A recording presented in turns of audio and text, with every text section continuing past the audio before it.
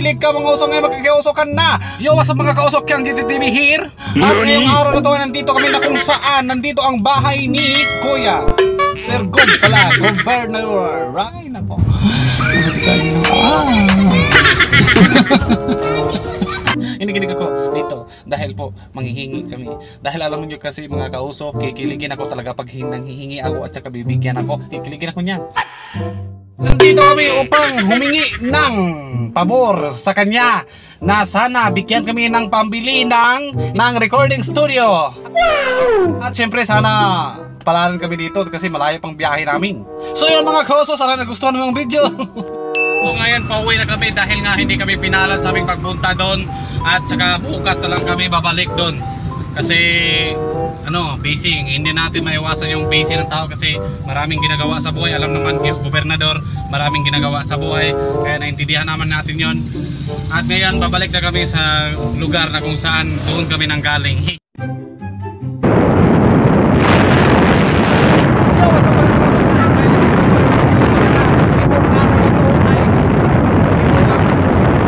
Ikalawang araw na babalik kami doon, hindi pa kasali yung mga naunang araw na napapagod sa pagod namin. Pumunta kami doon sa, ano ba yung tawag dyan? Sa Kapitilyo, Kapitolyo. Pumunta kami doon at hindi naman kami pinalan. Wala, hindi kami, ano, hindi kami nagkasalubong ng mayor dito at saka kay Gob.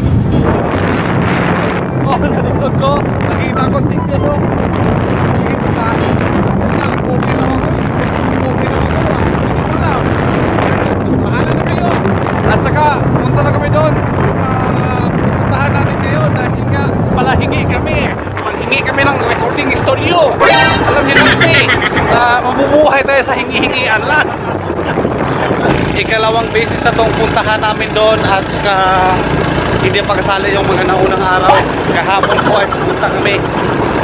Kalimang beses yun, pabalik yata kami. Pero busy eh, hindi natin may iwasan yung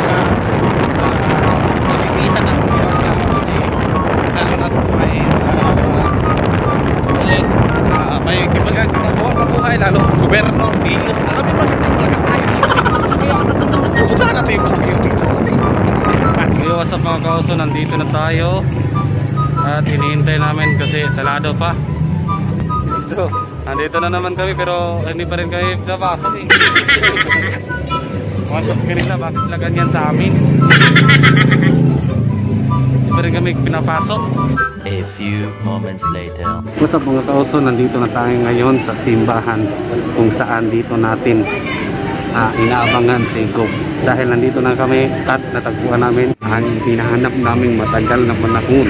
Kasi po, hinahanap namin ng dalawang linggo pa yata yun, dalawang linggo na hinahanap. Ngayon, nakita na namin.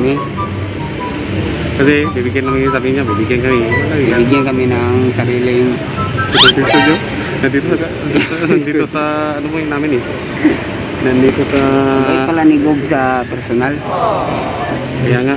So ngayon, happy na kami ngayon. Success ng aming pinaghirapan. Oh, naghirap kami ng ah, dalawang linggo para mahanap namin ngayon. Nahanap na namin ang aming hinahanap. One week later. Ah, ito na po yung binigay ni Governor Ruel Ragay Digamo na pangbil, para pambili namin sa recording studio namin. Yangin ko ha. 1, 2, 3, 4, 5, 6, 7, 8, 9, 10, 11, 12, 13, 14, 15, 16, 16,000.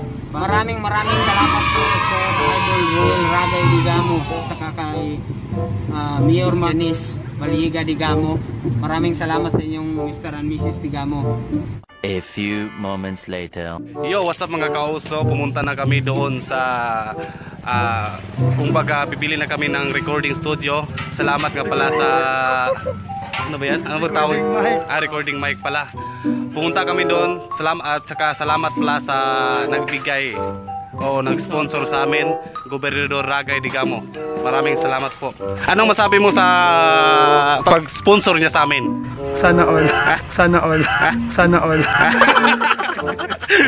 Tara na, let's go! Baka naman.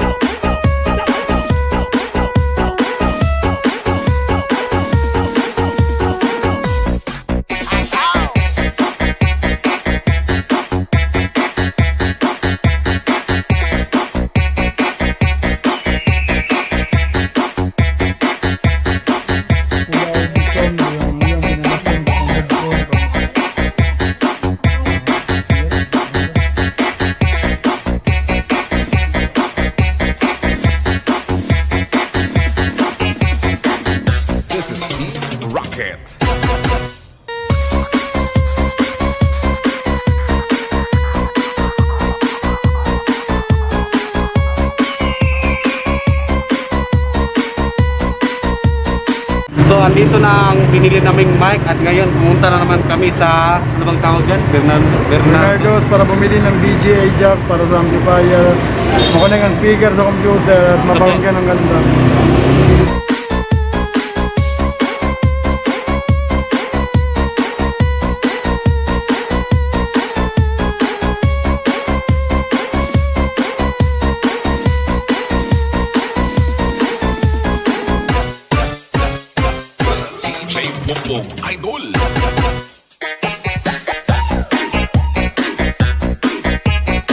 Yo, ito na po yung nabili namin kahapon na home recording set. Hiningi namin ni Gobernador Roel Ragay Digamo at saka ni Ma'am Janice Valiega Digamo. Ito na po yung nabili namin kahapon. Salamat, salamat nga pala sa ah, pagbigay namin. Ah, malaking tulong to sa amin, Gob, at saka Mayor Janice, malaking tulong to sa amin na binigyan mo kami ng ganito sapagkat ako po ay nagpapasalamat ng sobra sa inyong dalawa. Kaya maraming maraming salamat Mr. and Mrs. Digamo. Ito na po.